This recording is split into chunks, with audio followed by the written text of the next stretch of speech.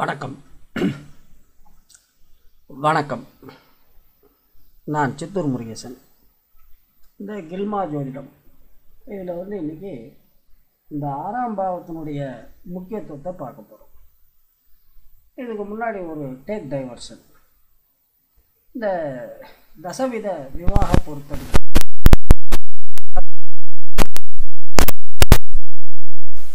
ராசி அப்படின்னு ஒன்று வரும். அந்த ராசி பொருத்தத்தில் வந்து பார்த்திங்கன்னா எட்டாவது ராசி சுபம் அப்படின்னு வரும். அதாவது பெண்ணினுடைய ஜாதகத்திலிருந்து ஆணினுடைய ஜாதகம் எட்டாவது ராசியாக வந்தால் நல்லது. அது ராசி பொருத்தம் இருக்குது டிக் அடிக்கணும். என்ன அநியாயம் இது? இது எட்டாம் இடம் என்பது மரணத்தை காட்டும் இடம் அல்லவா? இப்போ அந்த பெண்ணுக்கு எட்டாம் இடத்தில் அதாவது எட்டாவது ராசியில் கணவன் அமைந்தால் அவன் இவளுக்கு மரணத்தை தர வேண்டும். இது லாஜிக் தானே. ஆனால் இது வந்து மேட்ரு வந்து என்னடான்னா ஒரு பெண் கருவுறுகிறாள் குழந்தை பெறுகிறாள். அப்போ என்ன சொல்கிறாங்க ஐயையோ பொம்பளைக்கு இது ரெண்டாவது பிறப்புப்பா. அதாவது அந்த எட்டாவது ராசியாக அமையும் போது இவள் கருவுறுதல் குழந்தை பெறுதல் அப்படிங்கிறது கன்ஃபார்ம் ஆகுது அது ஒன்று இன்னொன்று இந்த தொடரின் ஆரம்பத்திலே சொன்னேன் மனிதர்கள் எந்த ஒரு காரியத்தை செய்தாலும் அதன் பின்னால் இருப்பது கொல்லுதல் அல்லது கொல்லப்படுதல். இது ரெண்டு தான் இது ரெண்டில் ஏதாவது ஒன்று நடந்துக்கிட்டே இருக்கணும். அப்போ தான் வந்து அந்த ரிலேஷன் கண்டினியூ ஆகும். அதே போல் இந்த மனிதர்களை பற்றி சொன்னேன். ஒன்று சேடிஸ்ட் இல்லை மசாக்கிஸ்ட் சேடிஸ்ட்னா என்ன? உடையவன்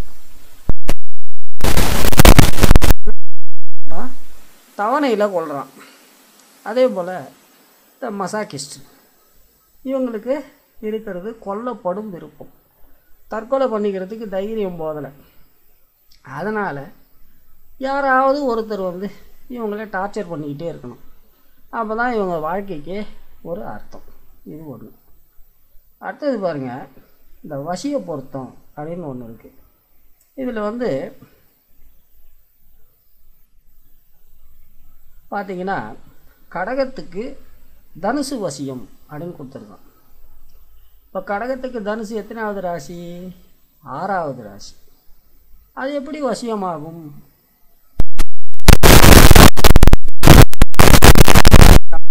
ஒரு ஃபார்முலா இருக்கும். என்ன? மோதல் காதல் கல்யாணம்.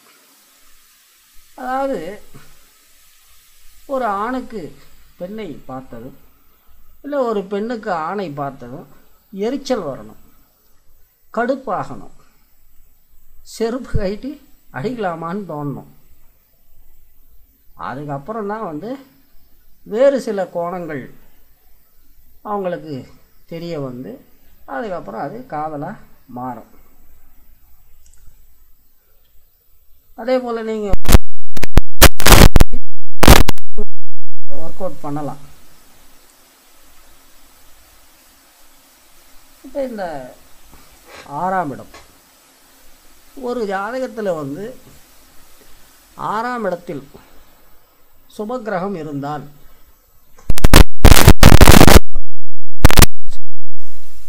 அடுத்தவங்க இவங்கள டார்ச்சர் பண்ணி இம்சை கொடுக்கணும். அதில் ஒரு குஜிலி அதில் ஒரு சந்தோஷம். இதே வந்து ஆறாவது இடத்துல பாபகிரகம் இருக்குன்னு வைங்க. இவங்க வந்து எதிராளியே டார்ச்சர் பண்ண ஆரம்பிப்பாங்க. இப்போ நான் ஏற்கனவே சொன்னேன். உத்தமமான ஜோடி எதுன்னா ரெண்டு பேரில் ஒருத்தர் மசாகிஸ்டாக இருக்கணும் ஒருத்தர் சேடிஸ்டாக இருக்கணும். அப்போ தான் அந்த உறவு வந்து தொடரும். சம்மந்தமே இல்லைன்னு வைங்க. என்ன? சம் வெறும் மசாக்கிஸ்ட்டு உறவு வந்து ரொம்ப நாளைக்கு தாங்காது. அது ஒரு பாயிண்ட்டு அடுத்தது வந்து ஒரு மனிதனை பார்த்ததும் உங்களுக்கு எந்த அபிப்பிராயமும் ஏற்படலைன்னு வைங்க. அவனோட குப்பை ஓட்டுறது ரொம்ப கஷ்டம். நான் இப்போ கொஞ்சம் முன்னாடி சொன்னாப்புல ஒருத்தனை பார்த்ததும் பயங்கர வரணும். வந்தால் அதற்கு பிறகு அது வந்து கொஞ்சம் கொஞ்சமாக அந்த கருத்து மாறும். அதாவது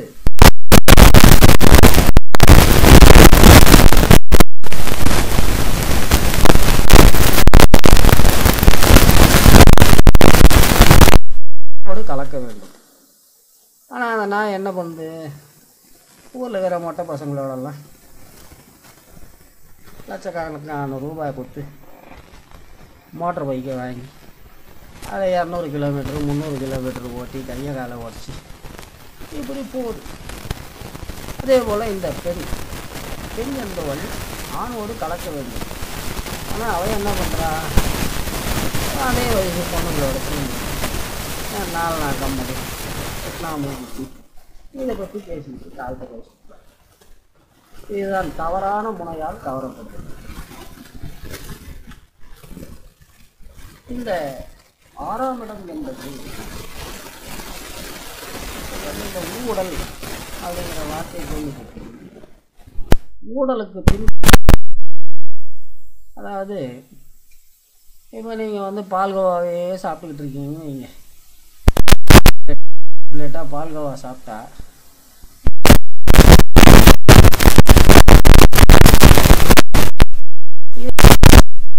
ஒரு பிளேட் பால்கோவா சாப்பிட்டுட்டு அதுக்கப்புறம் ஒரு இருபத்தஞ்சி கிராம் காரா சேவை சாப்பிட்டுட்டு அதுக்கப்புறம் ஒரு அரை பிளேட் சாப்பிட்லாம்.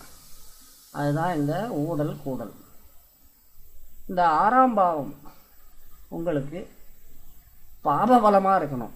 பாபபலமாக இருந்தால் உரண்டை இழுப்பீங்க உரண்டை இழுத்தா அங்கே வந்து சண்டை வரும். சண்டைக்கு பிறகு மேட்ரு நடந்தால் அந்த மேட்ரு டிஃப்ரெண்ட்டாக இருக்கும். அது ஒரு பாயிண்ட் இல்லை உங்கள் ஜாதகத்தில் ஆறாவது இடம் சோவலம் இழுப்பா உருண்டை இழுத்து அதுக்கப்புறம் மேட்ரு நடக்கும்போது அது ஒரு டிஃப்ரெண்ட்டாக இருக்கும். ஆனால் ஒன்று வாழ்க்கையில் மனுஷன் வந்து நிம்மதியாக இருக்கணும்னா அதாவது நான் எதையும் ஜாதிக்கு தேவையில்லை ஒரு வெங்காயமும் இல்லை ஏதோ ஒரு படத்தில் கூட வரும். சமுத்திரக்கனி படம் அது. அதான் பையனுக்கு அவங்க அப்பா சொல்லி வளர்ப்பார். தம்பி இருக்கிற இடமே தெரியக்கூடாதுன்னு.